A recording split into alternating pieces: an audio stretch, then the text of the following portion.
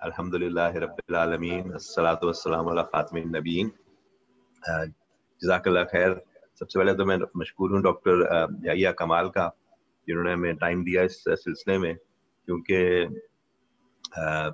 ये एक ऐसी फ़ील्ड है जिसके अंदर आपको एक तो लोग रिलेटिवली ज़रा कम मिलते हैं और दूसरा ये होता है कि उसको एक्सप्रेस करना ज़रा मुश्किल होता है और तीसरा ये होता है कि जो ऑडियंस होते हैं उनकी तरफ़ से भी थोड़ी सी रिलेक्टेंस होती है, लेकिन कुछ लोगों ने खुद मुझे कहा कि आप हर टॉपिक पर प्रेजेंट कर रहे हैं, लेकिन आपने अभी तक इस इस टॉपिक्स पे कोई ज़िक्र नहीं किया। तो मैंने बिल्कुल इसको एक सही चीज़ समझी क्योंकि एक बहुत बड़ी फ़ील्ड है और हमारे एक सब्जेक्ट है पूरा ये मेडिसिन के अंदर जिसको हम पढ़ते हैं और बड़ी बाकायदगी से इसको पढ़ाया जाता है हमें। डॉक्टर यहिया के बारे में मुख्तसरन बता दूँ। इन्होंने एम बी बी एस जो किया था 1989 में किया था, कराची से। और फिर ये 1994 में यूके आ गए थे। उसके बाद इन्होंने वहाँ पे कुछ ट्रेनिंग की। फर्दर जो इन्होंने काम किया वो आयरलैंड में काम किया इन्होंने एफ़ आर सी ओ जी किया हुआ है और एफ़ आर सी एस हैं। इसके अलावा वहाँ पे कई ऑर्गेनाइजेशन के ये एक्टिव मेंबर हैं और इस वक्त एक रोटंडा हॉस्पिटल डबलिन है वहाँ पे काम करते हैं। आ, तो उम्मीद है कि और आपके दरमियान में कोई क्वेश्चन हों तो आप जो है वो या तो इन राइटिंग भेज दीजिएगा मुझे। या बाद में आप अपना हैंड रेस करके मुझे बता दीजिएगा। क्योंकि हम दरमियान में प्रेजेंटेशन के इसको म्यूट रखेंगे ताकि इंटरप्शन ना हो और आप भी कोशिश कीजिएगा जब ज्वाइन करें तो उसको म्यूट कर दें या किसी वजह से अगर अनम्यूट हो तो उसको म्यूट कर दिया करें ताकि बैकग्राउंड में आवाज़ें ना आए। जजाकल्ला खैर डॉक्टर जाइए आप प्लीज़ स्टार्ट कीजिए। हम्म, अस्सलाम बिस्मिल्लाहिर्रहमानिर्रहीम। सबसे पहले डॉक्टर ज़िया आपका शुक्रिया कि आपने मुझे मौका दिया और इस काबिल समझा कि मैं इस वेबिनार का हिस्सा बन सकूँ। मैं पिछले 25 लगभग 25 साल से गायनकोलॉजी और गायनी कैंसर्स के शोबे से वाबस्ता हूँ। और डॉक्टर ज़िया के आइडिया के मुताबिक हम स्पेशलिस्ट डॉक्टर्स जो यहाँ यूके और आयरलैंड में मुकीम हैं अपने तजर्बे से अपने मुल्क के लोगों को फ़ायदा पहुँचा सकें। uh, मुझे उम्मीद है कि आज का मौजू हमारी ख़वान के लिए बहुत फ़ायदेमंद रहेगा। क्योंकि तीन से में से एक खातून को अपनी ज़िंदगी के किसी न किसी हिस्से में इस प्रॉब्लम का सामना करना पड़ता है। uh, हमारा आज का मौजू है माहवारी में खून की ज्यादती यानी हैवी पीरियड्स या माहवारी में हैवी ब्लीडिंग मैं साथ साथ आपको एक्सप्लेन भी करता जाऊँगा समझाता जाऊँगा। ये आज का टॉपिक जो है मैं उन खातन के लिए कर रहा हूँ जो रिप्रोडक्टिव एज में है। यानी कि जब से माहवारी स्टार्ट होती है जिसको हम मिनारकी कहते हैं और एवरेज या औसत उम्र जो है उसकी बारह, साढ़े बारह साल है। और जब तक माहवारी ख़त्म नहीं होती, जबकि जिसको हम मीनोपॉज कहते हैं, जो पचास से बावन साल की उम्र तक, का, की उम्र है। तो वैसे तो पीरियड्स जो हैं माहवारी जल्दी भी शुरू हो सकती है कई मुल्कों में या कई रेसेस में, जैसे अफ्रीकन या एशियन लोगों में या वेस्ट में गोरे लोगों में। डिफरेंट अलग अलग उम्र है इसमें तो कई जगहों पे इवन जो है नौ साल की उम्र में भी हमारी स्टार्ट हो सकती है पीरियड स्टार्ट हो सकते हैं और इसी तरह पीरियड ख़त्म होते हैं पचास बावन साल है एवरेज मगर कभी पैंतालीस से लेके पचपन छप्पन साल तक की उम्र तक भी पीरियड ख़त्म होते हैं ये भी रेंज है इसकी तो वैसे तो इसका डेफिनेशन वाइज जो है वो आप इसकी यह है कि औरतों को जब शुरू होते हैं पीरियड्स तो उनको अंदाज़ा होता है कि मुझे कितने हो रहे हैं और उसके बाद ग्रेजुअली आहिस्ता आहिस्ता वक्त के साथ साथ अगर उनको उससे ज़्यादा महसूस हो तो उनको खुद पता चल जाता है कि भाई अब ज़्यादा हो रहे हैं मुझे पीरियड्स और, या उनको पैड्स बार बार लगाने पड़ रहे हैं या उनके कपड़े जो हैं वो खून से भर जाते हैं या जिस कुर्सी या सोफे पे बैठे हैं उसमें उनका खून आ जाता है। तो उनको खुद ही अंदाज़ा हो जाता है कि अब मुझे ज़्यादा हो रहे हैं तो उस जब ऐसा हो तो उनको डॉक्टर से रुजू करना चाहिए। और हमारे वैसे यहाँ पे जो है तीस से चालीस फ़ीसद लोग जो हैं वो, जो रेफ़र होते हैं स्पेशलिस्ट के पास वो इसी प्रॉब्लम की वजह से रेफ़र होते हैं कि पीरियड ज़्यादा हो रहे हैं उनको। वैसे जो है डेफिनेशन के हिसाब से ये कहते हैं कि 80 एम से ज़्यादा अगर खून ज़ाया हो रहा है या पीरियड जो है सात दिन से ज़्यादा चल रहे हैं तो इसको हम कहेंगे ज़्यादा पीरियड है। मगर खुद ही अंदाज़ा कई खातन को हो जाता है कि मुझे ज़्यादा हो रहे हैं। वैसे ये जो है, इसमें जो भी हम इलाज करते हैं डॉक्टर्स उसमें हम ये ख़ास ख्याल रखते हैं कि खून की की मकदार को नाप तोल करने के बजाय बस उसका ये हल करें कि इसको कंट्रोल कर लें और औरतों की खातन की ज़िंदगी में जो इससे प्रॉब्लम्स हो रही हैं उसको हम दूर कर सकें। और वैसे ये हैवी पीरियड्स जो हैं या ज़्यादा खून की ज़्यादा माहवारी में उसके साथ साथ बहुत ज़्यादा तकलीफ़ तकलीफ़ भी होती है कई खातन को। और वो उसका यही है कि वो लोग इससे परेशान और हर महीने वो डर के बैठे होते हैं कि अब मैं, मुझे पीरियड आएँगे तो मुझे दर्द भी होगा और मुझे ब्लीडिंग भी होगी। कई खातन घर से इवन बाहर निकलने में भी हिचकिचाती हैं, डरती हैं। फिर उनको सेक्स में तकलीफ़ रहती है कईयों को इसके साथ ये भी हो सकता है, कई दफ़ा दो पीरियड्स के बीच में भी ब्लीडिंग हो सकती है, कई दफ़ा ब्लीडिंग जो है वो सेक्स के बाद हो सकती है। और कई खातन को इसके सिम्टम्स पीरियड्स के जो हैं नीचे की तरफ़ अपने टमी के अंदर शुरू कुछ दिन पहले ही उनको दर्द और टेंशन स्टार्ट हो जाती है। तो ये ओवरऑल जो है मैं ये तस्वीर मैंने लगाई है ये एक्सप्लेन करने के लिए कि यूजुअली पूरा जो ये है महावारी का सिलसिला पीरियड्स का सिलसिला अल्लाह ताला ने ये ख़वातीन के लिए या और ऑल फीमेल्स के लिए ये इस तरह बनाया है कि जो यूट्रस की लाइनिंग यूट्रस जो, जिसको बच्चा दानी भी कहते हैं, मैं यूट्रस ही बोलूँगा बार बार तो यूट्रस की जो अंदर की तय है, उसको, वो हर महीने जो है हार्मोन्स के असर के अंदर मोटी हो जाती है, थिक हो जाती है।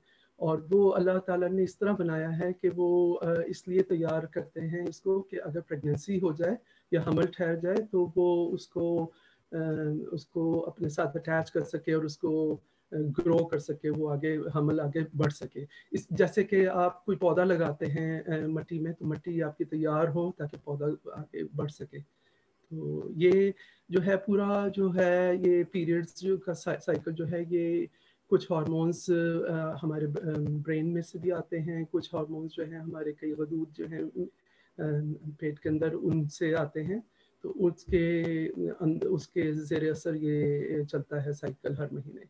तो ये लाइनिंग है, अगर प्रेगनेंसी नहीं होती तो एक, ये ओवरऑल ये जो लाइनिंग है, वो एक हार्मोन होता है, उसको कहते हैं ईस्ट्रोजन तो ईस्ट्रोजन की वजह से ये लाइनिंग मोटी हो जाती है थिक हो जाती है और अगर प्रेगनेंसी नहीं होती तो जो हर महीने एक एग भी निकलता है ओवरी के अंदर से। जो ओवरी ये जो साइड पे मैंने तस्वीर में बनाई हुई है, ये ओवरीज में से हर महीने एक ओवरी में से एक अंडा निकलता है, एक एग निकलता है। जब एग निकल जाता है तो उसका जो खाली शेल होता है, खाली उसका जो छिलका होता है, उसमें से एक हार्मोन निकलता है। उसको कहते हैं प्रोजेस्ट्रॉन और प्रोजेस्ट्रॉन जो होता है वो आपकी ये लाइनिंग जो है अंदर की जो तय है यूट्रस की, उसको पतला करता है और पीरियड्स बिल्कुल कंट्रोल में रहते हैं। तो आमतौर पे जिन खातन को एग नहीं निकल रहा, इसको हम ओवुलेशन कहते हैं जब एग निकलता है तो जब एग नहीं निकलता, उसको हम कहते हैं एन ओवुलेट एन ओवुलेशन और एन ओवुलेटरी साइकिल्स कहते हैं। तो जब एग नहीं निकलता तो प्रोजेस्ट्रॉन की कमी की वजह से पीरियड्स आगे पीछे इरेगुलर भी हो जाते हैं उसके अलावा हैवी हो जाते हैं ज़्यादा खून ज़ाया होता है। तो आ, कुछ भी वजह मालूम करने से पहले ये है कि बहुत तफसीली आपका मालूम हो कि क्या आपकी हिस्ट्री है कि किस तरह जो है ये सारा सिलसिला स्टार्ट हुआ, पूरी उसकी डिटेल में अभी आगे चल के बताऊँगा। फिर डॉक्टर आपको आपका मुआयना करें एग्जामिन करें और फिर कुछ टेस्ट आपके हों जिसकी वजह से और सौ फ़ीसद पता चल जाए कि हो क्या रहा है और क्या इलाज करना चाहिए। क्योंकि इलाज हर किसी का एक जैसा नहीं है और इसी तरह उम्र के हिसाब से भी है कई लड़कियों को जब जल्दी स्टार्ट होते हैं पीरियड बारह तेरह साल की उम्र में तो, तो उनको उस वक्त ओवोल्यूशन नहीं हो रही होती यानी कि एग नहीं, नहीं निकल रहा होता ओवरीज में से। तो उस वक्त भी उनको पेनफुल और इरेगुलर और हैवी पीरियड्स होते हैं। और यंग लड़कियों के लिए तो बहुत तकलीफ़ देह होता है क्योंकि उनके लिए बहुत नई चीज़ होती है और हमारे यहाँ वैसे सेक्स एजुकेशन तो है नहीं स्कूल्स में। तो माएँ बहुत अच्छी हैं इस सिलसिले में वो अपनी बेटियों को पहले से ही जो है बता के रखती हैं इस उम्र जब वो इस उम्र तक पहुँचती हैं तो उनको कुछ अंदाज़ा होता है और उनको बहुत ज़्यादा फैमिली सपोर्ट होता है। मगर मैं हमेशा ये सोचता हूँ कि जिन लड़कियों की माएँ नहीं हैं या घर में कोई खातन नहीं है और इस उम्र में यंग एज में उनको जब माहवारी स्टार्ट होती है तो उनके लिए बड़ी मिजरेबल बहुत तकलीफ़ बात होती होगी। एनी anyway, आगे चलते हैं।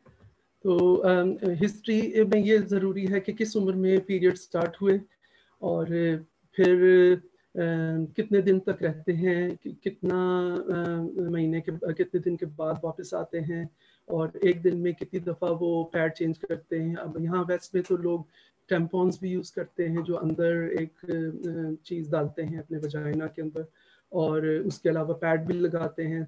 तो उस वो कहते हैं, जी, हमारा टेम्पोन और पैड दोनों भर गए और हमारे मेटर्निटी पैड्स जो होते हैं, वो ज़रा मोटे होते हैं।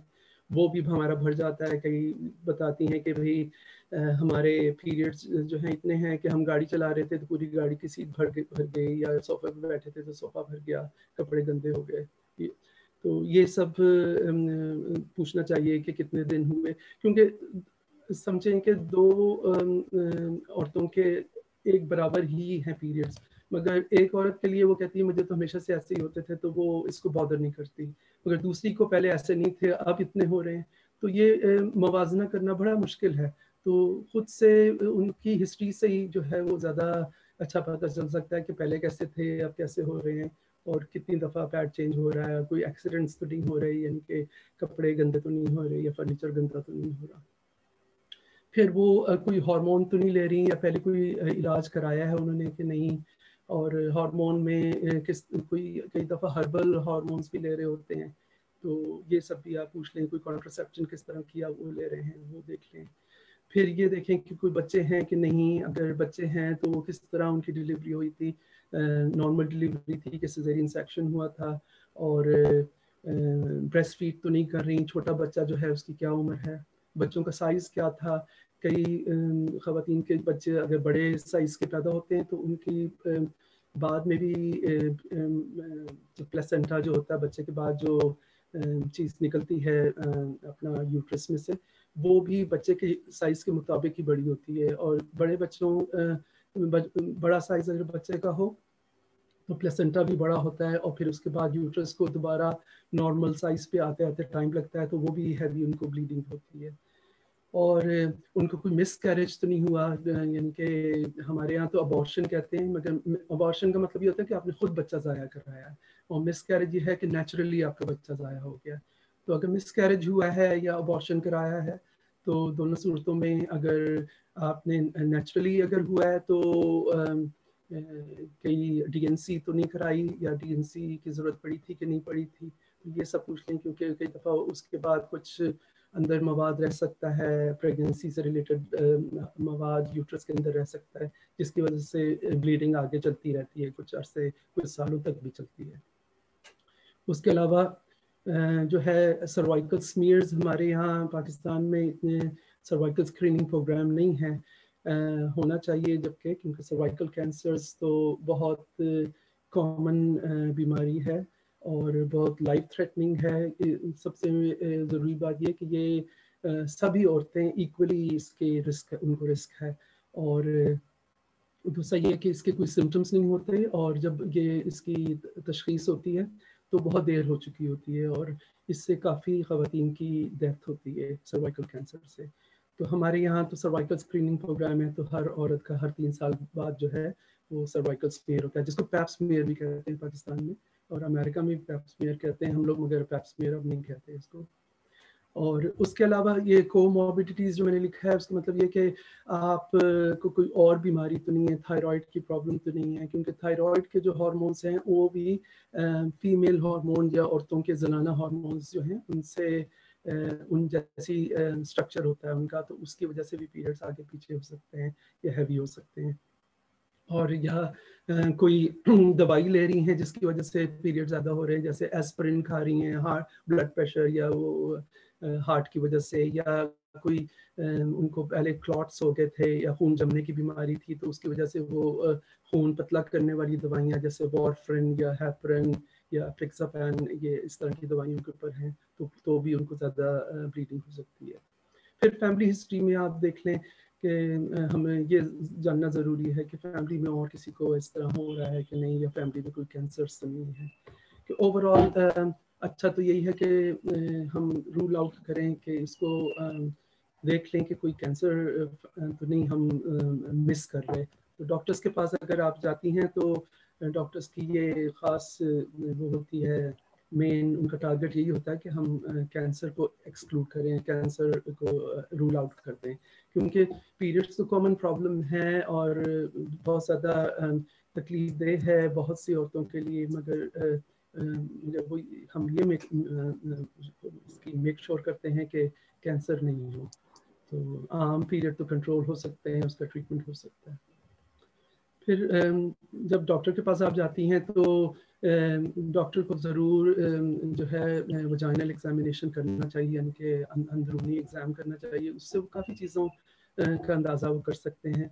उससे ये देख सकते हैं कि जो यूट्रस का मुँह है बच्चादानी का मुँह जिसको हम सर्विक्स कहते हैं उसके ऊपर तो कोई ग्रोथ या कोई पॉलिप या कोई उसके ऊपर कोई एबनॉर्मेलिटी तो नहीं है।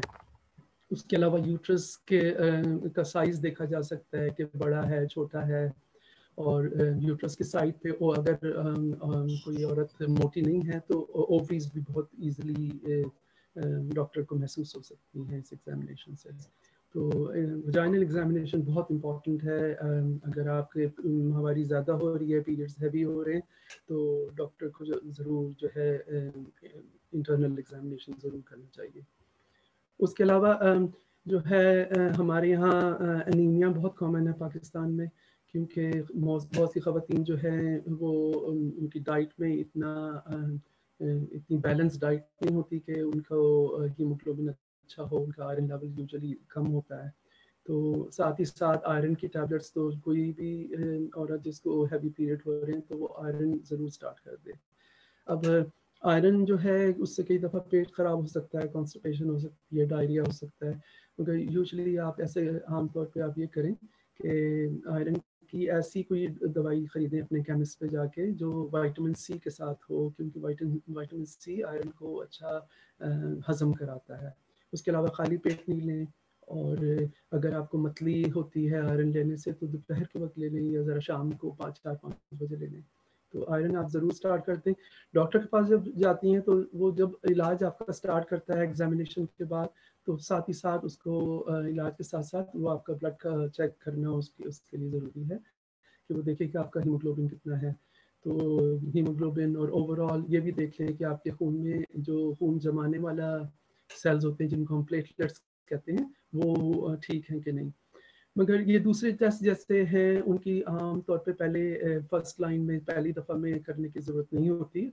क्योंकि वो कॉगुलेशन स्क्रीन जो है ब्लड को क्लॉट करने की सलाहियत जो है, उसको चेक करने की पहली दफ़ा में ज़रूरत नहीं होती है, या आयरन चेक करने की ज़रूरत नहीं है। इसी तरह आपका हार्मोन टेस्ट करने की या थायराइड चेक करने की ज़रूरत नहीं है, पहले, पहली विज़िट में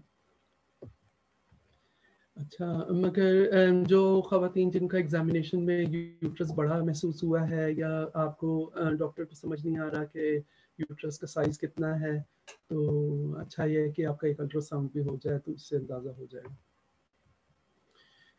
वजूहत इसकी बहुत सारी हैं हैवी पीरियड्स की या ज़्यादा ब्लीडिंग माहवारी में होने की। तो कुछ तो ऐसी हैं, जैसे आप, मैंने जैसे पहले ज़िक्र किया कि ओवुलेशन नहीं हो रही जो है एग नहीं निकल रहा ओवरी में से तो हार्मोन्स का गड़बड़ है।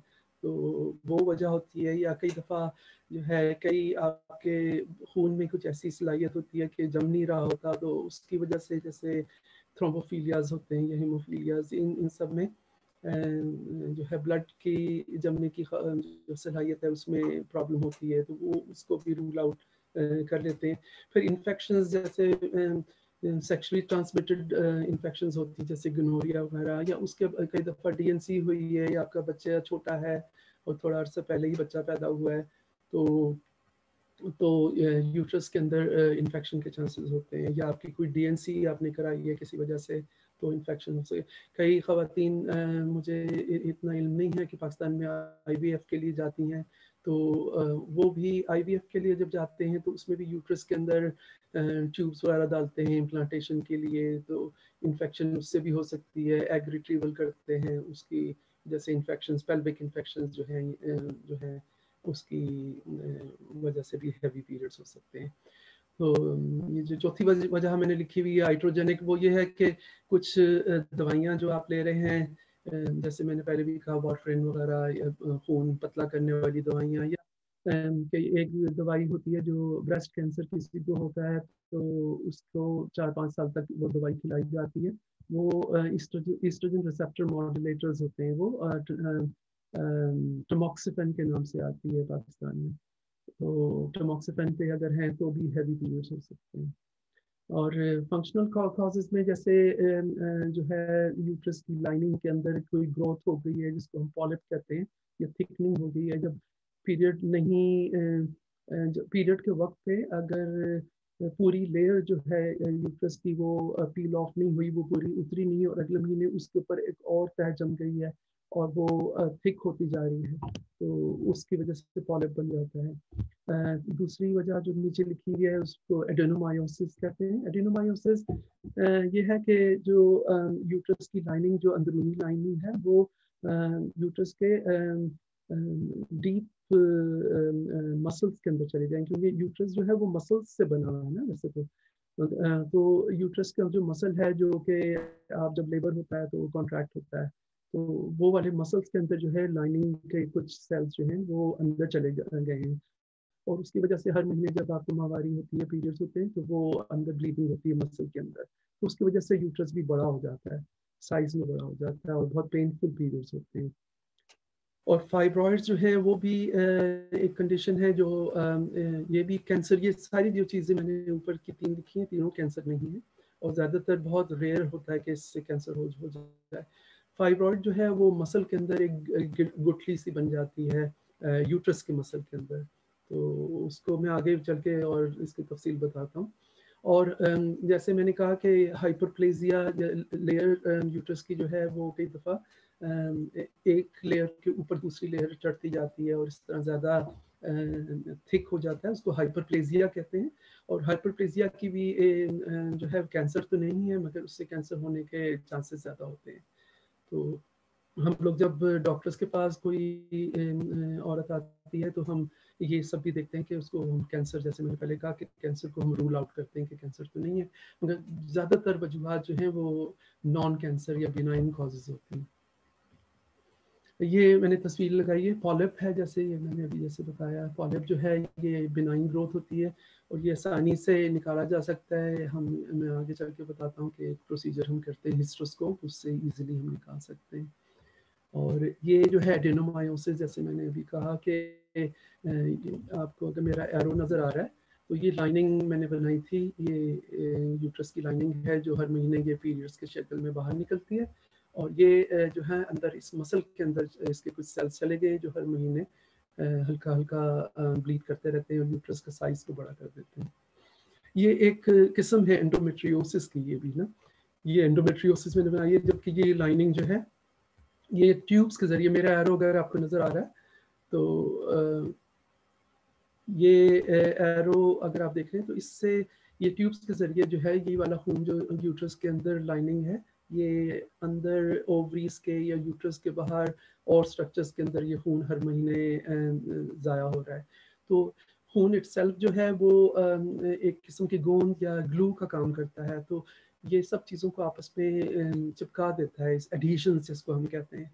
तो उसकी वजह से काफ़ी पेनफुल बड़े तकलीफ़ दे पीरियड्स होते हैं। उसके अलावा फर्टिलिटी में असर पड़ता है बहुत ज़्यादा क्योंकि ट्यूब्स वगैरह ब्लॉक हो जाती हैं या आपकी ओवरीज के अंदर सिस्ट बन जाती है, क्योंकि ओवरीज बिल्कुल ट्यूब्स के साथ लगी हुई हैं तो ओवरीज के अंदर सिस्ट ऐसी बनती है जिनके अंदर ब्लड भरा होता है और बहुत पेनफुल पीरियड होते हैं। तो इसको कहते हैं एंडोमेट्रियोसिस और ये मैंने तस्वीर बनाई है फाइब्रॉइड्स की। फाइब्रॉइड जो है, आप देखें, ये एरो फिर मैं आपको दिखा रहा हूँ। फाइब्रॉइड जैसे अंदर अगर आ रहा है यूट्रस की कैविटी के अंदर तो इसकी वजह से हैवी पीरियड होते हैं या देखें ये ये मसल के अंदर है, मगर थोड़ा सा अंदर बल्ज हो रहा है, अंदर जा रहा है तो इसकी वजह से भी हैवी पीरियड होते हैं। मगर अगर ये बाहर की तरफ़ है तो ये इतने तकलीफ़ नहीं देते अनलेस के बहुत सारे हैं और बहुत बड़े हैं, और ओवरऑल यूट्रस की पूरे को ही लंबा कर दिया है इन्होंने साइज़ में बड़ा कर दिया है तो हैवी पीरियड्स होते हैं।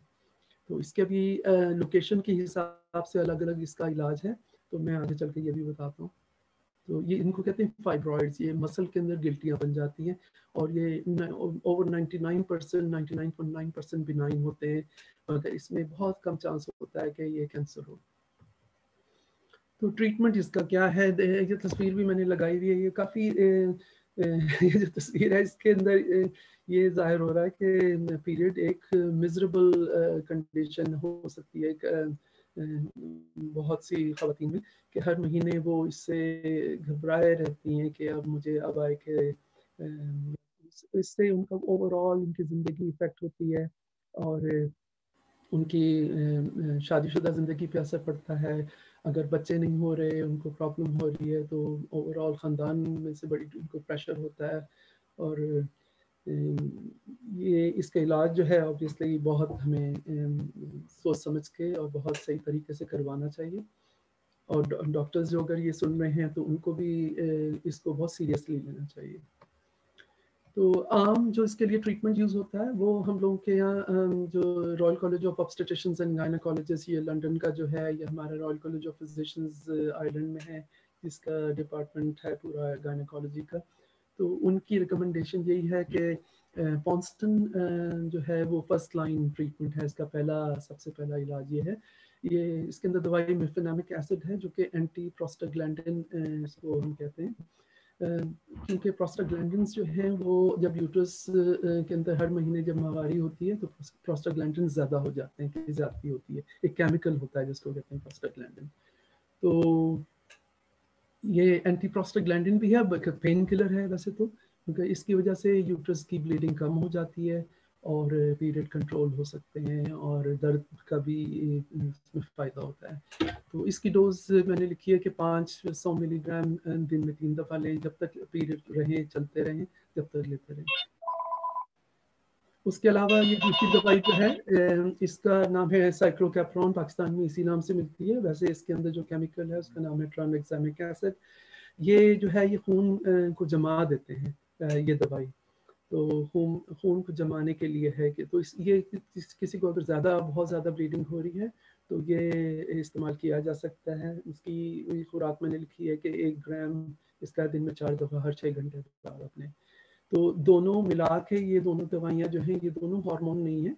और अगर किसी को प्रेगनेंसी आगे करनी है और वो कोई हार्मोन नहीं लेना चाह रहे पीरियड को कंट्रोल करने के लिए तो उनके लिए बहुत फ़ायदेमंद दवाइयाँ हैं दोनों। और दोनों का कॉम्बिनेशन भी हम करते हैं, दोनों का कॉम्बिनेशन से चालीस से पचास फ़ीसद लोगों को फ़ायदा इसमें होता है।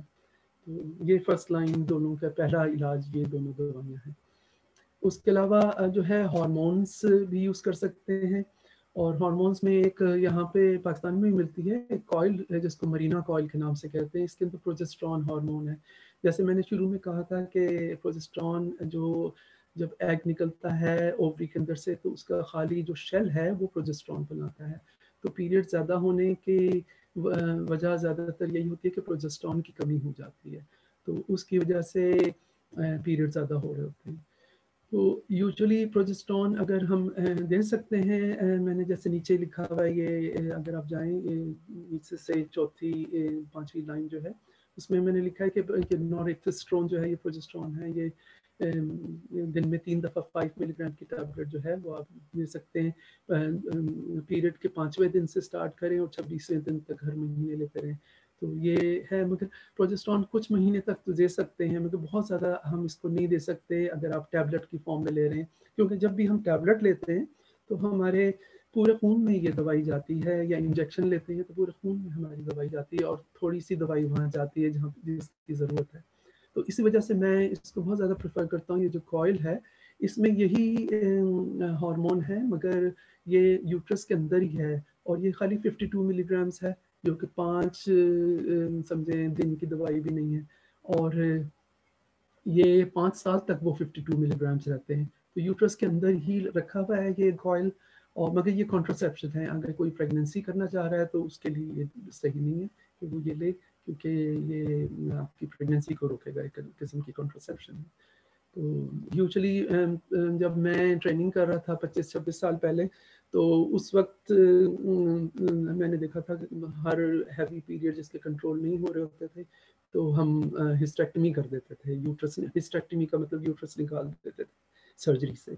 मगर अब हिस्टेक्टमी हम लोग खाली कैंसर्स के लिए करते हैं या कुछ खातन जिनको प्रोलैप्स होता है, कि यूट्रस जो है वो नीचे की तरफ़ आ रहा है वजाइना के अंदर और वो ठीक नहीं हो रहा, बाहर निकल रहा है, वजाइना से बाहर आता जा रहा है तो उसके लिए हिस्टेक्टमी करते हैं या कैंसर्स के लिए करते हैं? या बहुत ज़्यादा इलाज, सब कुछ फेल हो गया है, कुछ भी काम नहीं आ रहा, बहुत बड़े फाइब्रॉइड्स हैं तो हम हिस्टेक्टमी करते हैं। तो ये कॉयल जो है, ये मरीना कॉयल या ये लिवोनोसजेस्ट्रल रिलीजिंग कॉयल जो है, इसकी वजह से काफ़ी हिस्टेक्टमीज कम हो गई हैं। और भी कुछ टेक्निक्स है, मैं आगे चल के बताता हूँ। उसके अलावा पिल्स जो है, ये जो कॉन्ट्रासेप्टिव पिल्स आती हैं ये ली जा सकती हैं। साइक्लिकल मैंने लिखा है और बैक टू बैक ये दो साइक्लिकल का मतलब ये कि इक्कीस दिन तक लें, फिर सात दिन का गैप दे दें, फिर दोबारा इक्कीस दिन तक लें, सात दिन का जिस दिन, जिन दिनों में आप गैप देते हैं, उन दिनों में आपको पीरियड आ जाते हैं। तो जिनको अगर हैवी पीरियड्स हो रहे होते हैं तो हम, आजकल हमने देखा है कि सात दिन गैप के बजाय खाली तीन दिन या दो दिन का गैप दे के दोबारा पीरियड दोबारा पिल स्टार्ट कर दें तो इससे भी पीरियड्स में कमी हो जाती है। मगर ये भी कॉन्ट्रासेप्शन है, अगर कोई प्रेगनेंसी करना चाह रहा है तो उसके लिए ये सही नहीं है। और बैक टू बैक का मतलब यह है कि आप बीच में गैप दें ही ना, ये पिल जो है ये कंबाइंड ओरल ओरल कॉन्ट्रासेप्शन है। तो इसमें ईस्ट्रोजन और प्रोजेस्ट्रॉन दोनों हैं, मगर ये इसमें भी डिफरेंट कॉम्बिनेशन की पिल्स मार्केट में है। तो वो वाला कॉम्बिनेशन जिसमें प्रोजेस्ट्रॉन ज़्यादा है या इस, और ईस्ट्रोजन कम है, वो बहुत ज़्यादा मुफीद होती है। यहाँ पे एक आती है मर्सिलॉन के नाम से पिल मर्सिलॉन जो है उसमें प्रोजेस्ट्रॉन ज़्यादा है और ईस्ट्रोजन कम है। मगर जैसे दूसरी दवाइयाँ हैं, जैसे पाकिस्तान में ओवरीना के नाम से आती है, मेरे ख्याल में, और सेलेस्ट के नाम से आती है तो उसमें ईस्ट्रोजन ज़्यादा है और प्रोजेस्ट्रॉन कम है। तो उसके बजाय अगर ये देखा जाए कि अपने केमिस्ट से भी आप पूछ लें आपके डॉक्टर को ये पता होना चाहिए कि कौन सी वाली कंबाइन और कॉन्ट्रासेप्टिव पिल में प्रोजेस्ट्रॉन ज़्यादा है। तो वो वाली पिल आपको दे दें। उसके अलावा एक मिनी पिल जिसको कहते हैं, जिसमें ईस्ट्रोजन होता ही नहीं है, वो भी कॉन्ट्रासेप्शन के लिए यूजली पाकिस्तान में और हमारे यहाँ भी जो ब्रेस्ट फीडिंग मदर्स हैं उनको दी जाती है और ये बगैर गैप के जो है रोज़ाना एक ही वक्त पे लेनी होती है। पाकिस्तान में नॉरिडे के नाम से आती है, इसको यहाँ पे मिनी पिल भी कहते हैं और यहाँ पे सेराजेट के नाम से भी आती है, एक दो और नाम भी हैं, मगर पाकिस्तान में मुझे ये पता है नॉरिडे के नाम से आती है क्योंकि मेरे कई रिश्तेदार हैं या कुछ फ्रेंड्स हैं पाकिस्तान में या हमारे रिश्तेदारों के आगे फ्रेंड्स हैं तो वो इस प्रॉब्लम के लिए मुझसे कई दफ़ा रबता करते हैं। तो मुझे कुछ अंदाज़ा है, क्योंकि मैं वहाँ पे काम किए हुए मुझे वहाँ मैंने अव्वल तो गायनी में काम किया नहीं है। दूसरा ये कि काम जब किया था उस समय से लेके अब तक जो है वो मुझे पता नहीं वहाँ पे क्या अवेलेबल है। उसके अलावा ये जो नीचे दो मैंने स्काई ब्लू में इसको हाईलाइट किया है, वो इसलिए कि डेबो प्रोवेरा इंजेक्शन है, ये भी वो जो हर तीन महीने बाद लगाने वाला इंजेक्शन है, ये भी प्रोजेस्ट्रॉन इंजेक्शन है। ये मुझे पसंद नहीं है हैवी पीरियड के लिए, क्योंकि एक दफ़ा इंजेक्शन आपके जिसम में चला गया और उससे फ़ायदा नहीं हो रहा तो कई दफ़ा इससे हैवी पीरियड्स भी और बढ़ जाते हैं। और दूसरा ये कि एक दफ़ा इंजेक्शन गया तो उसको बाहर निकालना बहुत मुश्किल है। तो वो मैं नहीं रिकमेंड करता। और इसी तरह इम्प्लांट्स जो होते हैं इम्प्लानॉन वो जो बाजू के अंदर एक नीडल की तरह, सुई की तरह की चीज़ अंदर डाल देते हैं, वो भी प्रोजेस्ट्रॉन होता है। मगर वो एक दफ़ा अंदर चला गया तो उसको निकालना ही मुश्किल होता है। मैं इसको रिकमेंड नहीं करता हूँ। मुझे बहुत बहुत से मेरे कोलीग्स भी इसको नहीं रिकमेंड करते हैवी पीरियड्स में। अच्छा ये कॉयल की मैंने तस्वीर इसमें लगाई है। ये, देखिए, ये इस तरह कॉयल अंदर है। इसके बीच में जो सिलेंडर सा है, इसके अंदर ये प्रोजेस्ट्रॉन है जो लिवनॉर्जेस्ट्रल इसका केमिकल नाम है। तो प्रोजेस्ट्रॉन जैसे मैंने कहा यूट्रस की लाइनिंग को पतला करता है थिन करता है। और ये पाँच साल तक रह सकती है। आप चाहें इसको पहले निकलवाना चाहें क्योंकि ये कॉन्ट्रासेप्टिव पिल है कॉन्ट्रासेप्शन है तो अगर फ़र्ज़ करें आपने खाली गैप देना है, दो साल का, तीन साल का, पाँच साल तक आप बेशक नहीं इंतज़ार करें, उससे पहले आप निकलवा लें। ये छोटा सा धागा होता है जो कि वजाइना में ही रहता है और ये बहुत बहुत सारे डॉक्टर्स लेडी डॉक्टर्स पाकिस्तान में आसानी से डाल सकते हैं। उसी तरह जैसे दूसरी कॉयल्स कॉपर कॉयल है, या वन पीस लूप आता है, उसी तरह ये भी बन सकता है। और ये है कि इसमें ये बहुत स्लो इसका हार्मोन है जो पाँच साल तक चलता है। तो शुरू के दो तीन महीने में टाइम लगता है इसको। और हमारे यहाँ अगर किसी को हम ये डालते हैं और बहुत ज़्यादा पीरियड्स की वजह से डाल रहे हैं कॉन्ट्रासेप्शन की वजह से भी यूज़ होती तो है ही। मगर अगर पीरियड की वजह से डाल रहे हैं डाल रहे हैं तो हम, हम कोशिश करते हैं कि यूट्रस को पहले साफ़ कर लें वो डीएनसी की तरह की चीज़ कर लें और फिर उसके बाद कोयल डालें। तो फिर बहुत इफ़ेक्टिव रहती है, इसके बहुत ज़्यादा अच्छे रिजल्ट्स हैं। फिर ये क्या कि शुरू में जो हार्मोनल और नॉन हार्मोनल मैंने दोनों तरीके बताए हैं तो नॉन हार्मोनल में जैसे पहले बताया पॉन्स्टन है और वो साइक्लोकैप्रॉन है, ये दवाइयाँ यूज़ कर सकते हैं, ये हार्मोन नहीं है। और ये उन लोगों के लिए हैं जो जैसे चालीस से पचास फ़ीसद लोगों को इससे फ़ायदा भी हो जाता है। और उन लोगों के लिए है जो आगे किसी वजह से हार्मोन नहीं ले सकते या प्रेगनेंसी करना चाहते हैं। तो उनके लिए ये बहुत मुफीद है। और ओवरऑल जो है, जो भी हम ट्रीटमेंट करते हैं कोशिश यही करते हैं कि औरत को ये पता हो कि हम ये वाले ट्रीटमेंट क्यों कर रहे हैं, क्या ये इलाज से इससे क्या फ़ायदा है और कितने अर्से तक आपको करना है। क्योंकि औरत अपने जिसम को खुद अच्छी तरह जानती है कि इस लफ्ज से तो मुझे वो याद आ गया, मेरा जिसम मेरी मर्ज़ी। मगर चले, वो वो तो बात अलग है। मगर अपनी बॉडी का उनको खुद अंदाज़ा होता है कि मेरी बॉडी अब सेटल हो गई है और मेरे पीरियड्स अब सही हैं। और उनको खून की कमी की वजह से जो वीकनेस या कोई और प्रॉब्लम्स हो रही हैं, कमज़ोरी हो रही है, थकन हो रही है लिथार्जी फटीग हो रही है तो वो ओवरऑल उनके अंदर एनर्जी आ रही है और ट्रीटमेंट से फ़ायदा हो रहा है। तो उनको खुद ही पता चल जाता है कि ये मुफीद है उनके लिए। और स्पेशलिस्ट के पास रेफ़र करने के लिए जो है, वो उन्हीं ख़वान को रेफ़र करें जिनको जिनको फ़ायदा नहीं हो रहा और मेडिकल मैनेजमेंट से। या उनका, उनकी उम्र पैंतालीस साल से या मिड फोर्टीज़ में, जैसे मैंने कहा कि औरतों के पीरियड्स में मैंने शायद पहले ज़िक्र किया कि जब एग नहीं निकलता ओवरी में से तो पीरियड्स जो हैं वो हैवी हो जाते हैं क्योंकि प्रोजेस्ट्रॉन की कमी होती है। तो यूजुअली जैसे उम्र बढ़ती जाती है तो भी एग कम रह जाते हैं यूट्रस उसमें ओवरी में। और उससे यही होता है कि कुछ महीने एनोवुलेटरी साइकिल्स होते हैं एग नहीं निकल रहा तो पीरियड हैवी हो जाते हैं। और कोई और प्रॉब्लम्स हैं जैसे इनफर्टिलिटी भी है उनको बच्चा पैदा करना चाह रही हैं। या उनको दो पीरियड्स के बीच में भी ब्लीडिंग हो रही है, या सेक्स के बाद पीरियड ब्लीडिंग हो रही है, या बहुत ज़्यादा पेनफुल पीरियड्स हैं, और या पोलिसिस्टिक ओवेरियन डिज़ीज़ है पोलिसिस्टिक ओवेरियन सिंड्रोम अगर है उनको। पोलिसिस्टिक ओवेरियन सिंड्रोम भी एक अलग से टॉपिक है, और ये ज़्यादातर देखा गया कि उन खातन को होता है जिनके अंदर ओवोल्यूशन नहीं हो रही है इनके एग नहीं निकल रहे, और ओवरी जो है वो बहुत सारे एग्स उसके सरफेस के ऊपर आए हुए हैं, मगर जैसे एग बाहर नहीं निकल रहा है एग हैच नहीं हो रहा। तो उसकी वजह से काफ़ी उनको हार्मोनल प्रॉब्लम्स होती हैं, उनके चेहरे पे जिसम पे ज़्यादा बाल हो जाते हैं, सर के बाल कम होने लगते हैं, मोटापा काफ़ी हो जाता है। तो ये और फर्टिलिटी की प्रॉब्लम होती है, उनकी, उनके अंदर काफ़ी, और फिर लेटर लाइफ में उनको डायबिटीज़ के ज़्यादा चांसेस होते हैं। और आखिरी चीज़ जो मैंने इसमें लिखी है टमोक्सिफन वो ये दवाई जो ब्रेस्ट कैंसर के बाद ख़वान को दी जाती है जो चार पाँच साल तक देते हैं बाद में। ये क्योंकि ईस्ट्रोजन रिसेप्टर मॉड्यूलेटर है तो उसकी वजह से यूट्रस की लाइनिंग जो है वो थिक हो जाती है और उसकी वजह से पीरियड हैवी होते हैं। तो ये सारी अगर कंडीशंस हैं तो ज़रूर गायनाकोलॉजिस्ट के पास स्पेशलिस्ट के पास रेफर करें। फिर गोल्ड हिस्ट्रोस्कोपी मैंने ये लिखा है इसलिए कि ये हमारे यहाँ मेरे ख्याल में पाकिस्तान में भी बहुत से मॉडर्न हॉस्पिटल्स में ये हो रही है। हिस्ट्रो का मतलब है यूट्रस ना बच्चा दानी। तो हिस्ट्रेक्टमी जैसे आपने लफ्स बहुत सुना है तो कि यूट्रस को निकाल देते हैं। हिस्ट्रोस्कोपी का मतलब कि यूट्रस में कैमरा डाल के देखते हैं। तो कैमरा डाल के देखने से ये किस्म की डीएनसी है अगर डीएनसी में डी और सी का मतलब है डी का मतलब डायलिटेशन ये कि बच्चेदानी का मुँह खोल के डायलेट करके और सी में, में क्या करते हैं चम्मच की तरह की एक चीज़ होती है क्योरेट उससे बिल्कुल ब्लाइंडली उसको क्लीन कर देते हैं। तो मगर वो सही तरह नज़र नहीं आता कोई चीज़ आप मिस भी कर सकते हैं उससे। तो इसमें यह है कि आप देख रहे हैं जो आप कर रहे हैं।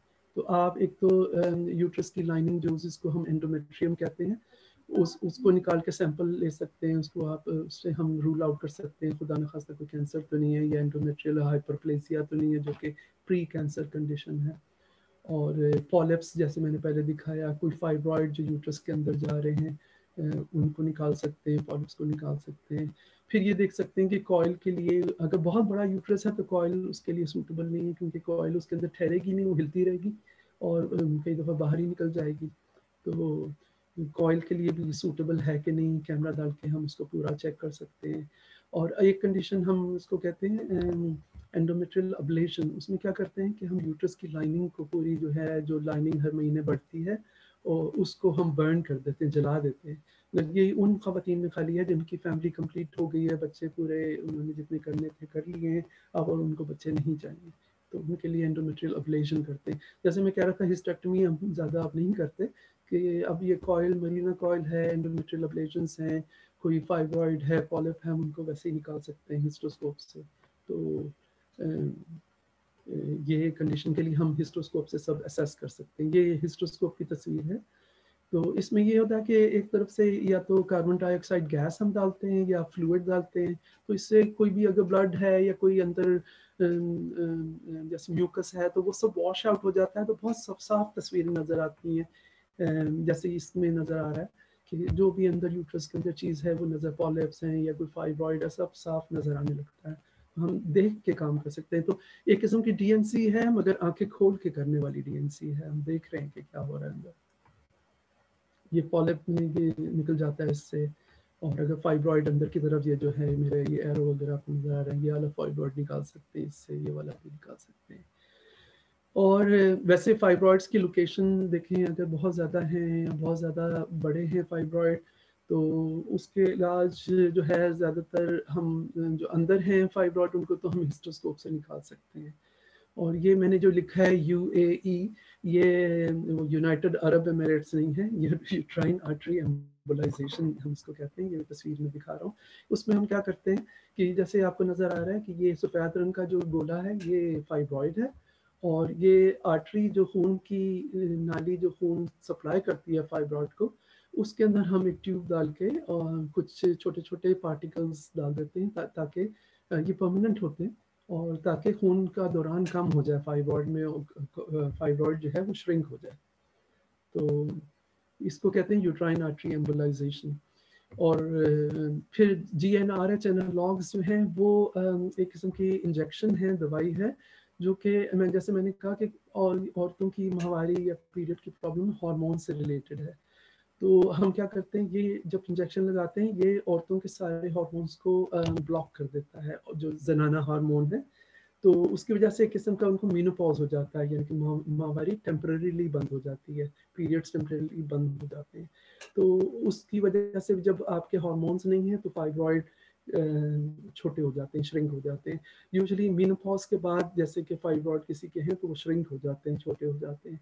तो एक किस्म का हम आर्टिफिशियल मीनोपॉज क्रिएट करते हैं और मगर इसके साइड इफ़ेक्ट बहुत हैं, जैसे वो जैसे जब पीरियड ख़त्म होते हैं तो औरतों के हॉट फ्लशेज होते हैं, बहुत ज़्यादा मुँह, चेहरा गर्म हो जाता है, पाँव बहुत गर्म होते हैं, पसीने आने लगते हैं सर्दियों में भी पसीने आ रहे हैं और खाना खाते वक्त पसीने आ रहे हैं। तो वो है। उसके अलावा मेनोपॉज का जो मेन इफ़ेक्ट जिसम पे होता है, जैसे ऑस्टियोपोरोसिस जो है, जिसको हम कहते हैं कि हड्डियाँ जो हैं, वो इतनी कमज़ोर हो जाती हैं कि फ्रैक्चर्स होने लगते हैं।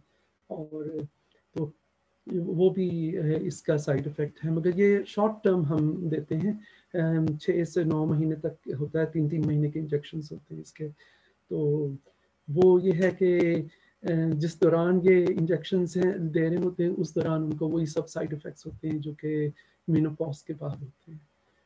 तो बहुत सी खातन इसको पसंद नहीं करती मगर कई खातन सर्जरी या कुछ और नहीं कराना चाहती तो उनके लिए अच्छा है।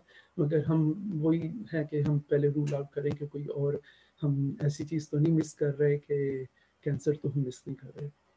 फिर मायोमेक्टमी जो है वो आ, सर्जरी है जैसे सिजेरियन सेक्शन होता है उसी तरह की सर्जरी है और उससे हम फाइब्रॉइड्स को निकाल देते हैं सर्जिकली और फिर हिस्टेक्टमी तो आखिरी सोल्यूशन है, कुछ और ना बन पड़े, कोई और इलाज ना चल सके। तो सब चीज़ फेल होने के बाद का आखिरी हड़बा यही है कि यूट्रस निकाल दें।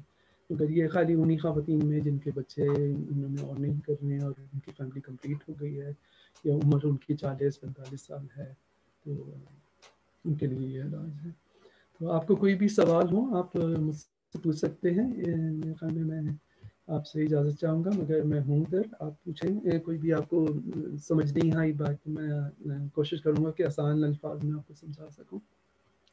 खैर डॉक्टर जाहिया अगर मैं उसको उर्दू में कहूँ तो आपने समंदर को कूजे में बंद कर दिया है। अल्हम्दुलिल्लाह कुछ चीज़ें हमारी भी रिवाइज इस तो एक पहला सवाल जो आया है आ, आ, वो ये है कि इसको किस सीक्वेंस में आप डील करते हैं?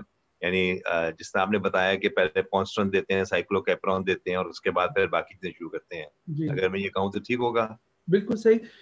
इसमें यही है ना कि सबसे पहले तो आयरन स्टार्ट कर दें कि हमारे यहाँ तो खातन में आयरन की कमी होती है। तो आयरन ज़रूर स्टार्ट कर दें और औरतों को खुद ही अंदाज़ा हो जाता है कि भाई अब मेरे पीरियड ज़्यादा हो रहे हैं। तो जब से पीरियड ज़्यादा हो तो आयरन स्टार्ट करते हैं पॉन्स्टन तो हाँ ओवर द काउंटर मिलती है पॉन्स्टन भी ले सकती हैं। मगर अगर तो एक आध महीने में नहीं फ़र्क पड़ता तो ज़रूर डॉक्टर को दिखाएँ। फिर डॉक्टर का काम यह है कि फिर आगे साइक्लोकैप्रॉन खुद से नहीं लें, कोई भी। वो क्योंकि खून जमाने वाली दवाई है, वो डॉक्टर के मशवरे के बगैर ना लें। पॉन्स्टन तो ले सकते हैं, मगर पॉन्स्टन से भी कई लोगों को मैदे में जलन होती है, क्योंकि वो मेफेनामिक एसिड है। तो जिनको अल्सर्स हैं या जिनको मैदे की प्रॉब्लम्स हैं तो वो पॉन्स्टन भी नहीं ले सकती तो उनको भी चाहिए कि पहले डॉक्टर को दिखाएँ। फिर यही है डिपेंड करता है ना उनकी उम्र कितनी है और उनको और कोई बीमारियाँ तो नहीं है। तो अच्छा ये है कि अगर तो कुछ और प्रॉब्लम नहीं है तो खुद से कॉन्स्टेंट और आयरन स्टार्ट कर सकते हैं। उसके अलावा फिर अगर नहीं कंट्रोल होता महीना डेढ़ महीने बाद तो आप डॉक्टर के पास ज़रूर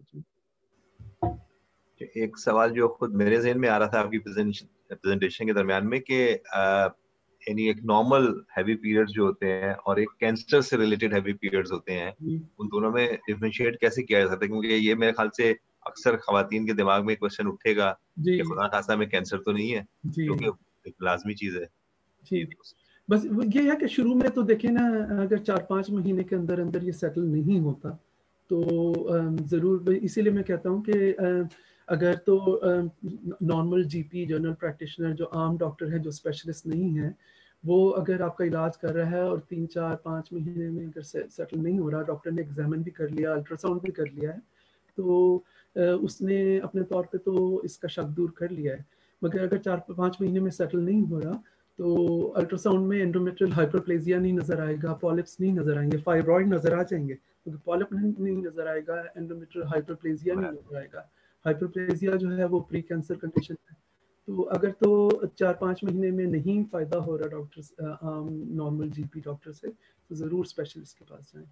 तो अगर जब तक वो आगे इन्वेस्टिगेट यूट्रस की लाइनिंग को चेक नहीं करता जब तक यूट्रस के कैंसर को नहीं डायग्नोज कर सकता। तो इसीलिए मैंने लिखा था कि गोल्ड स्टैंडर्ड इन्वेस्टिगेशन जो है वो अल्ट्रासाउंड नहीं है वो गोल्ड स्टैंडर्ड जो है वो हिस्टोस्कोप है जो कि वो डीएनसी की मॉडर्न फॉर्म है।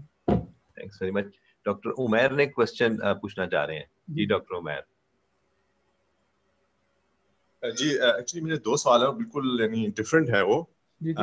एक तो ये है कि प्रैक्टिकल एस्पेक्ट से हो सकता है ये ज़्यादा क्वेश्चन जीपीस को लिए ज़्यादा शायद अप्रोप्रिएट हो लेकिन मैं आपसे भी पूछ लेता हूँ। कुछ कुछ लोग फॉर एग्जांपल उम्र या हज में जाते हैं और आजकल obviously once in life time experience होता है।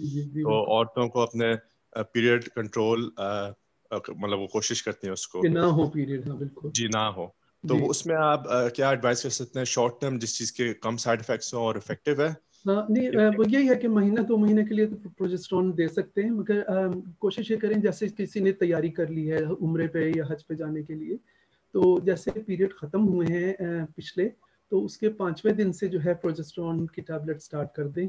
यही जो प्रोवेरा के नाम से या प्रोमुलट एन के नाम से आती है तो वो ज़रूरी नहीं क्योंकि पीरियड हैवी तो उनको अगर पहले नहीं है तो खाली टेन मिलीग्राम्स भी दे सकते हैं तो फाइव मिलीग्राम सुबह शाम जो है वो लेना शुरू कर दें पीरियड जैसे ख़त्म होते हैं पहले वाले तो उसके बाद से लेते रहें जब तक वापस ना आ जाए उम्र हज करके।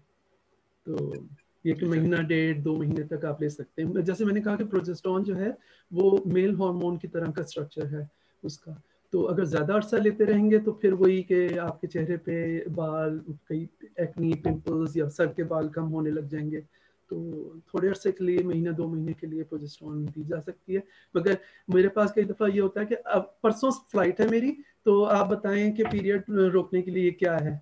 तो वो उसमें बड़ी गड़बड़ हो जाती है। उसमें क्योंकि आप जितनी भी हाई डोज प्रोजेस्ट्रॉन दें, क्योंकि लाइनिंग ऑलरेडी यूट्रस की थिक हो चुकी होती है तो वो तो पीरियड आएँगे ही आएँगे, कम आएँगे मगर आ जाएँगे। मगर अच्छा ये है कि उन सब खातन जिन्होंने हज पे उम्र पे जाना है या किसी वजह से शादी होने वाली है, या पीरियड नहीं आना चाहिए चाहिए या कोई स्पेशल ओकेजन है तो आप जिस, जो एक महीना पहले जो पीरियड ख़त्म हुए हैं, उसके बाद से पाँचवें दिन के बाद से स्टार्ट कर दें। तो वो पीरियड नहीं होंगे। ये तो आपका पहला सवाल हुआ है अगला दूसरा सवाल पूछ जी मैंने कहा कि मैं पूछ सकता हूँ या किसी और को मौका देते हैं फिर अगर टाइम होगा हाँ, अच्छा, अच्छा मैं तो कुछ कुछ कुछ लोगों को नॉन स्पेसिफिक जैसे पेट में दर्द होता है लोगों को और अक्सर ऐसे स्कैन हो जाता है उनका अल्ट्रासाउंड हो जाता है सीटी स्कैन हो जाता है और ब्लड टेस्ट में भी कुछ नहीं निकलता। आ, तो आ, उसको आप किस तरह मैनेज करते हैं? आ, या उसके यानी क्या वजूहत इवेंचुअली निकलता जी मैं समझ रहा हूँ अगर आप ये कह रहे हैं कि उनको सिम्टम नहीं है उनको कोई एसिम्टोमेटिक है उनको कोई उनको एब्डोमिनल पेन होता है। जी? एब्डोमिनल पेन होता है नॉन स्पेसिफिक पेन है मगर इंसिडेंटल फाइंडिंग है ये कुछ और वजह से स्कैन हुआ है मगर यूट्रस में कुछ नज़र आया है? ये कहना चाह रहे हैं आप। नहीं मैं मैं कह रहा हूँ कि उनके एब्डोमिनल पेन की वजह से इन्वेस्टिगेशंस हुए इनके मल्टीपल अल्ट्रासाउंड हुआ है सीटी हाँ, स्कैन हुआ है तो कुछ भी नहीं निकला। जी कुछ भी नहीं निकला तो फिर देखिए ना एंडोमेट्रियोसिस जैसे मैंने आपको कहा कि वो खून जो है ये पिछली स्लाइड्स अगर आप देखें मैं दिखाता हूँ बहुत ऊपर है। तो ये जो है एंडोमेट्रियोसिस जो है ये अल्ट्रासाउंड पे तो खून के ये छोटे छोटे ज़रात नहीं नज़र आएँगे ना? किसी सीटी स्कैन में भी नहीं नज़र आएँगे एडिशंस जो हैं वो भी नहीं नज़र आएँगे। तो इसके लिए लेप्रोस्कोप करना ज़रूरी है जो कि आप तो खैर डॉक्टर हैं आपको अंदाज़ा है लेप्रोस्कोप ये है कि आपकी बेली बटन से टमी के अंदर कैमरा डाल के पेट के अंदर डायरेक्टली देखें। तो लेप्रोस्कोप से एंडोमेट्रियोस की एंडोमेट्रियोसिस की डायग्नोसिस जो है वो लेप्रोस्कोप से ही हो सकती है। स्कैन सीटी एमआरआई किसी अल्ट्रासाउंड से नहीं पता कर सकते कर सकते। तो अगर तो पेन है तो डेफिनेटली लेप्रोस्कोप फिर करना चाहिए। बहुत बहुत शुक्रिया जजाकल्लाह खैर। मतलब can I ask a question? Yes yes please sorry I don't have a place to raise my hand. Um, thank you very much that was really informative Dr. Kamal. मैं सिर्फ़ ये पूछना चाह रही हूँ कि प्राइमरी केयर में जो है we get a lot of this obviously first line problem what is the sequence of investigations? I understand that obviously you do the bloods and check for anemia and any sort of hormone, hormonal irregularities, and then you look for structural uh, changes, as you've mentioned already. Mm-hmm. Is there anything else one needs to do? Because a lot of times this is all completely normal, and the woman has this problem. She's bleeding heavily, and mm-hmm. you're treating her with mefenemic, transexamic, and so on. But they're saying, "Well, what's wrong with me? Is this just going to carry on like this forever?" Mm-hmm. मगर जैसे मैंने आपको कहा ना like I said you know full blood count is the initial investigation as as soon as you start the treatment you do a full blood count but if uh, you suspect any other conditions uh, I think you should do the whole iron studies coagulation profile thyroid function tests other hormones usually if you're doing hormones you know um, uh, suppose if somebody has a polycystic ovaries or anovulatory cycles then on the day three uh, ideally we should do follicle stimulating hormone uh, and luteinizing hormone. These two hormones are usually they're, they're going up and down all uh, different time of the month. But uh, usually in the first three to five days, they are in a special, uh, in a specific proportion. So ideally follicle stimulating hormone should be higher than the luteinizing hormone. So if luteinizing hormone goes higher than the follicle stimulating hormone, that is a sign that the woman has anovulatory cycles and uh, then um, possibly she would have polycystic ovaries और thyroid function test you could do आप बाकी देखें वैसे तो अगर जो लोग pregnancy करना चाह रहे होते हैं और उनके लिए अगर हमने हार्मोन टेस्ट करने होते हैं तो हम क्या कहते हैं कि मिड लूट्रियल सीरम प्रोजेस्ट्रॉन करें। यूजली अगर 28 डे साइकिल है तो 21वें दिन सात दिन पहले उससे करें इक्कीसवें दिन पे आप कर लें। सीरम प्रोजेस्ट्रॉन मगर किसी का साइकिल है ही इरेगुलर तो फिर सीरम प्रोजेस्ट्रॉन कराना बहुत मुश्किल है तो उसका कोई फ़ायदा नहीं। मगर यही है कि कोगुलेशन वगैरह आप देखें, कोई और कंकरेंट डिज़ीज़ तो नहीं है, कोई और कई दफ़ा हर्बल रेमेडीज़ कोई और दवाई तो नहीं ले रहे, कोई ऐसी मेडिसिन ले रहे हैं ओबेसिटी तो नहीं है। मोटी औरतों में क्योंकि बॉडी की अपनी जो वो है फैट्स जो हैं, वो भी ईस्ट्रोजन प्रोड्यूस कर रही है। तो ज़्यादा ईस्ट्रोजन की वजह से लाइनिंग थिक होती है। ये सब हार्मोन के खेल है वैसे तो। ये तो अगर ये सब नो सॉरी अगर ये सब चीज़ें नॉर्मल हो जो अमूमन होती हैं इन्वेस्टिगेशंस में स्कैन गायनेकोलॉजिस्ट को भेजते हैं आप जी फिर ज़रूर आप अल्ट्रासाउंड भी अगर करा लिए तो आप ज़रूर गायनेकोलॉजिस्ट को भेजें। वही मैं कह रहा हूँ हमारे पास मैं तो ज़्यादातर गायनी ऑनकोलॉजी करता हूँ मगर ज़्यादातर जो जनरल गायनेकोलॉजी में मेरी प्राइवेट प्रैक्टिस में आती हैं बहुत सी खातन खाली पीरियड जो है कंट्रोल नहीं हो रहे उसकी वजह से आती हैं। ओके आप जैसे शुरू में आपने देख लिया कि नहीं हो रहा तो आप ज़रूर भेज दें उसको गायनेकोलॉजी दूसरा ये कि अगर पेरीमीनोपॉजल हैं चालीस पैंतालीस साल से ऊपर हैं तो वैसे ही पहली दफ़ा में एक महीने के बाद भी भेज दें जल्दी भेज दें। तो पोस्ट मेनोपॉजल ब्लीडिंग तो वो तो डिफरेंट इमरजेंसी वो तो फॉरेन फॉरेन भेजे अर्जेंट रेफरल है। अगर पेरीमेनोपॉजल कंडीशन में अगर कंट्रोल नहीं हो रहा तो आप पहले ही भेज दें। उनकी हिस्टोस्कोपी हो जानी चाहिए फिर। ये एक क्वेश्चन क्वेश्चन आया है if a teenager is uh, age of 15 and uh, still not having any peers is there any cause of concern? वही देखिए डिफरेंट लोगों में डिफरेंट टाइप है। जैसे मैंने कहा नौ साल की उम्र में भी पीरियड स्टार्ट हो जाते हैं सोलह साल की। ये रेंज जो है नौ से सोलह लिखी हुई है ज़्यादातर टेक्स्ट बुक्स में। तो अगर सोलह साल तक की उम्र तक नहीं हुए तो वैसे जनरल एग्जामिनेशन उसका करके देखना चाहिए। क्योंकि देखें अगर लड़की की ब्रेस्ट डेवलपमेंट नहीं हो रही तो क्योंकि देखें चेंजेस जो बॉडी में एक बच्ची की उम्र जिसम में जो चेंजेस आती हैं, वो हॉर्मोन्स की वजह से आती हैं। तो आप अगर पीरियड नहीं हो रहे तो देखें कि उसकी ब्रेस्ट डेवलप हुई है कि नहीं हुई, उसका कद बढ़ा है कि नहीं बढ़ा, उसके बाकी प्यूबिक और एक्सिलरी हेयर जो हैं, जैसे जैसे बच्ची जवान होती है तो उसके बाल आ जाते हैं, बगल में बाल या नीचे बाल आ जाते हैं, वो बाल आए हैं कि नहीं। तो अगर 16 साल की उम्र हो गई है और पीरियड नहीं आए तो आप डॉक्टर को दिखाएँ, पूरा उसका एग्जामिनेशन होना चाहिए। दूसरा ये कि कई दफ़ा जो है यूट्रस के बहुत छोटा होता है, उसकी वजह से भी नहीं, हम कहते हैं ये टोटली डिफरेंट टॉपिक है, उसके ऊपर तो बहुत लंबा लेक्चर हो सकता है। मगर अगर 16 साल की उम्र में नहीं हुए पीरियड्स तो उसका जर्नल फ़िज़िकल एग्जामिनेशन बहुत ज़रूरी है। उसके अलावा डॉक्टर फिर आपका अल्ट्रासाउंड करके यूट्रस और ओवरीज देख सकते हैं। उसके अलावा उनके हार्मोन टेस्ट भी कर सकते हैं। तो ये ज़रूर देखें बहुत मोटी लड़की तो नहीं है कई दफ़ा मोटी लड़कियों में पीरियड नहीं स्टार्ट होते देर तक। ये बहुत पतली लड़कियों में भी नहीं होते। अगर आपका लो वेरी लो बी है या वेरी हाई बी है तो उसमें यही हो सकता है कंडीशन उसमें हार्मोन की प्रॉब्लम हो जाती है फिर ना? अली बहुत बहुत शुक्रिया। तकरीबन हम तकरीबन नौ बजे तक हम खत्म कर देते हैं तो आज इसमें नहीं नहीं बहुत अच्छी इंट्रेक्शन रही।